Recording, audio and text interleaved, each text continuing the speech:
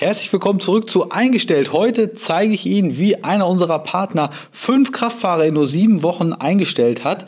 Dafür gibt es gleich wieder direkte Infos hier aus dem Werbemanager, aus all den Daten, die wir auch gesammelt haben. Die gebe ich wieder einfach mal direkt weiter an Sie, damit Sie so einen Einblick dafür bekommen, aber auch einfach erfahren, wie es geht, wie wir es machen. Und am Ende des Videos habe ich noch direkt einen Bonus mit dabei für Sie. Und zwar haben wir eine Auswertung gemacht über alle Statistiken und Auswertungen unserer Partner. Wie ist der perfekte Ablauf einer Bewerbung? Und damit meine ich jetzt erstmal den zeitlichen Ablauf vom Eingang zu den Bewerbungsgesprächen, dem Erstkontakt bis zur Einstellung. Was sollte man da beachten? Das zeige ich Ihnen auch am Ende dieses Videos. Deshalb bleiben Sie direkt dran und ich wünsche Ihnen viel Spaß dabei.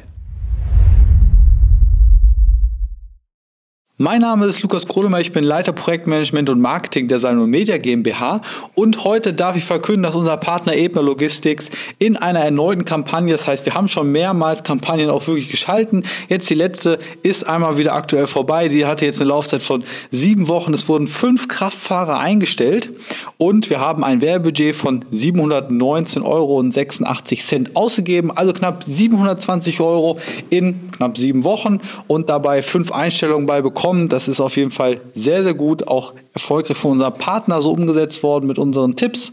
Und genau, in dieser Zeit gab es eben diese fünf Einstellungen. Das macht 143 Euro und 97 Cent pro Einstellung, was ist wirklich eine sehr gute Zahl. Ich meine, Sie können ja auch gerne mal bei sich überlegen, würden Sie eine Einstellung eines Kraftfahrers nehmen, wenn Sie knapp 145 Euro dafür ausgeben? Viele, viele, mit denen ich da auch schon gesprochen habe, würden da auf jeden Fall Ja sagen. Deshalb weiß ich einfach, dass da unser Konzept auch sehr, sehr gut funktioniert. Und ähm, genau, einfach nochmal auch zur Gesamtüberblick. Wir haben in der Zeit, in diesen sieben Wochen, haben wir neun Bewerbungen generiert. Das macht ungefähr ja, 79,98 Euro, also knapp 80 Euro pro Bewerbung aus.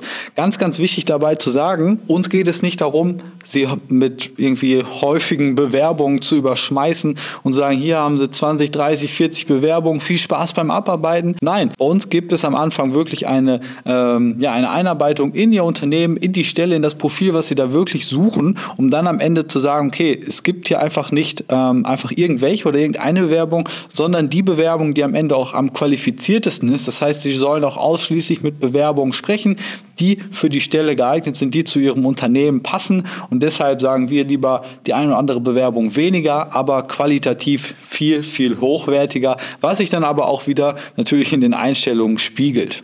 Das waren einfach mal echte Zahlen ja, von unserem Partner Ebler Logistics aus Bayern. Ähm, da arbeiten wir jetzt auch schon ja, einige Jahre mit zusammen und da freut es mich auch immer wirklich, die Kampagnen zu schalten, sei es für den Kraftfahrerbereich, aber auch für den Lagerbereich haben wir dort auch schon Kampagnen oder auch im Büro ähm, Kampagnen mit übernommen und Stellen darüber auch besetzen können.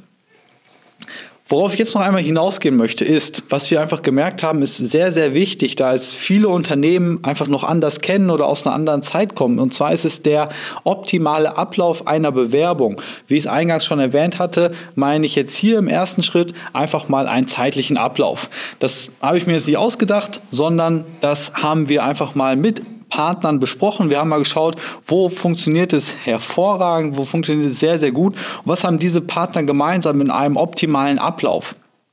Und damit geht es immer los, natürlich mit dem Bewerbungseingang und dann auch dem Erstkontakt am Telefon. Das ist ganz, ganz wichtig zu sagen. Nach dem Bewerbungseingang, der Bewerber, der dort reinkommt, wird telefonisch kontaktiert. Das heißt, der erste persönliche Kontakt vom Unternehmen wird aufgebaut. Da geht es nicht darum, irgendwie, äh, ich sag mal, eine belanglose E-Mail zu schreiben, sondern wirklich persönlich mit dem Bewerber auch in Kontakt zu treten. Die fühlen sich da auch wirklich sehr, sehr gewertschätzt dann, die vielen Bewerber. Und was wir auch schon mitbekommen haben, haben, dass da eben auch in Foren, in sonstigen Austauschen zwischen ähm, ja, Bewerbern oder auch Portalen, ähm, dass darüber geurteilt wird. Und deswegen empfehlen wir immer wirklich den Erstkontakt am Telefon innerhalb von 24 bis 48 Stunden. Wochenenden nehmen wir jetzt mal raus, natürlich am nächsten Werktag. Aber da ist die Schnelligkeit eben entscheidend.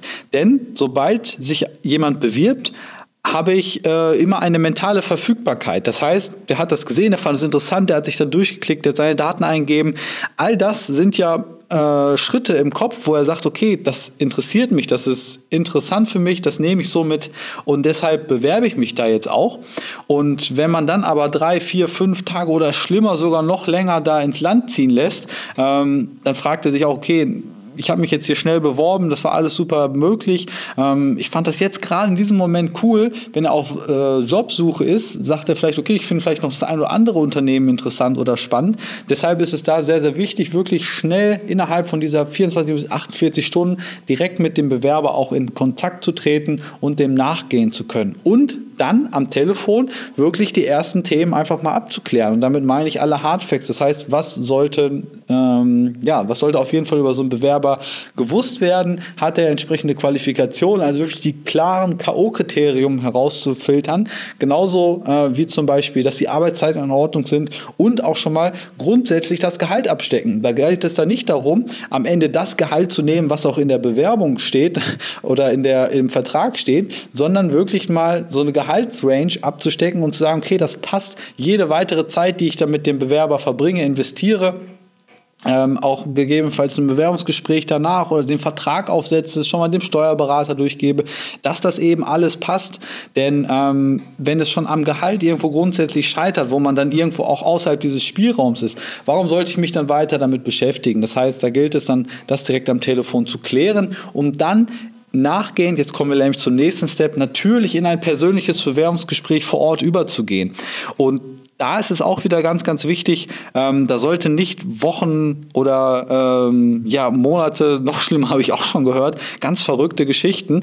Ähm, es sollten einfach nur ein paar Tage, wir haben dort ausgewertet, maximal fünf Werktage sollten dazwischen liegen, zwischen dem Gespräch und dem, ähm, genau, zwischen dem Gespräch am Telefon und dem Gespräch vor Ort mit dem Bewerber. Das heißt, diese Einladung nicht zu weit nach hinten rutschen lassen. Wir arbeiten da zum Beispiel auch mit ähm, mit extra eingerichteten Online-Kalendern. Das heißt, unsere Partner haben die Möglichkeit, diese ähm, Gespräche direkt zu terminieren. So kann der äh, Bewerber das in seinen Kalender eintragen. Man hat es selber in seinem Kalender und es gehen automatische Erinnerungen raus. Das heißt, man kriegt ja immer noch mal eine Benachrichtigung, um einfach auch eine höhere Quote der Erscheinungen dort äh, entsprechend zu haben. Außer man legt sowieso diesen Termin schon mal richtig und sehr verbindlich fest äh, und hat da keine Probleme mit.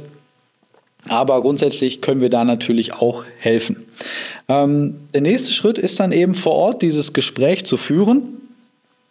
Und da kriegt man ja einfach schon mal sehr, sehr schnell einen Einblick. Wie funktioniert das? Wie klappt das zwischenmenschlich? Wie ist der Bewerber drauf? Passt er ins Unternehmen? Das gilt es eben alles herauszufinden. Auch natürlich nochmal diese ganzen Fakten zu klären, wie Arbeitszeiten, äh, sich auf das Gehalt zu einigen.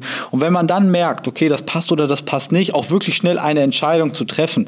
Das heißt, dort nicht zu sagen, okay, wir melden uns in zwei Wochen nochmal, weil wir einfach nochmal überlegen. Wenn wir ganz ehrlich sind, ähm, dann wissen wir auch, okay, das hat sich nach diesem Gespräch sehr schnell ergeben. Man kann natürlich noch mal ein, zwei Tage überlegen, aber länger sollte es auch gar nicht sein. Also wirklich innerhalb dieses Zeitraumes zu bleiben.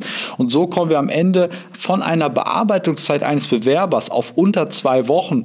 Und das heißt, dieser Prozess, der ist sehr, sehr schnell ähm, durchgearbeitet im Sinne von, der Bewerber ist interessiert, ich habe Kontakt aufgebaut, ich leite alles weitere in die Wege. Das zeigt ja auch eine Wertschätzung, dass ich mich eben mit der Person, die sich dort für mein Unternehmen, für das Unternehmen interessiert, ähm, dass ich mich damit auch beschäftige und sage, hey, ich möchte dich bei uns im Team haben, wenn die Person passt. Da brauche ich nicht ewig lange überlegen.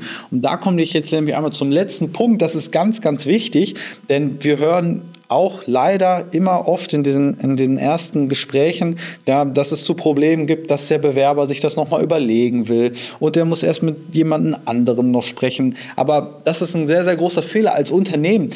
Der Bewerber bewirbt sich bei uns. Ich möchte mich als Unternehmen ja nicht in diese Bittstellerposition begeben und sagen, hey, ähm, überleg dir das doch nochmal und komm bitte, bitte zu uns oder ich warte jetzt hier ewig lange auf einen Rückruf. Natürlich kann man mal auf einen Rückruf eben entsprechend warten, äh, wenn man einen Termin ausmacht. Aber man sollte als Unternehmen nie diese Position, nie diesen Rahmen dieses Gesprächs verlassen und sagen, wir sind das Unternehmen derjenige oder diejenige hat sich bei uns beworben und deshalb treffen wir auch die Entscheidung. Und wenn dann gesagt wird, okay, wir entscheiden uns, wir melden uns in ein bis zwei Tagen bei dir, ob du bei uns anfangen kannst, dann hat der Bewerber zeitgleich auch noch mal ein bisschen Zeit ähm, und man gibt nicht dieses Zepter sozusagen aus der Hand, dieses Zepter der Entscheidung, was ganz, ganz wichtig ist. Denn wenn ich als Unternehmen dann immer warte und immer wieder anrufe und hey, komm doch, komm doch bitte, komm doch bitte oder ähm, ja, das ist, das ist einfach nie gut, diesen Rahmen dieses Gesprächs zu verlassen. Und als Unternehmen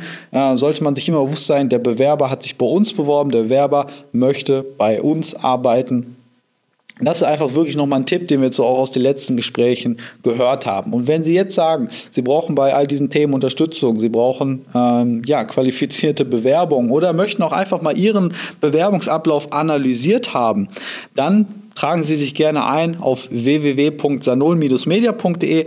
Einer unserer ähm, Experten wird sich da bei Ihnen melden, wird sich mal mit Ihnen in Kontakt setzen. Dann können wir auch gerne mal einen persönlichen Termin ausmachen, persönliches Gespräch ausmachen und dann schauen wir uns Ihre Situation an, schauen, wie wir Ihnen weiterhelfen können und dann freue ich mich schon, auch bald mit Ihnen zu sprechen. Bis dahin wünsche ich Ihnen alles Gute. Tschüss.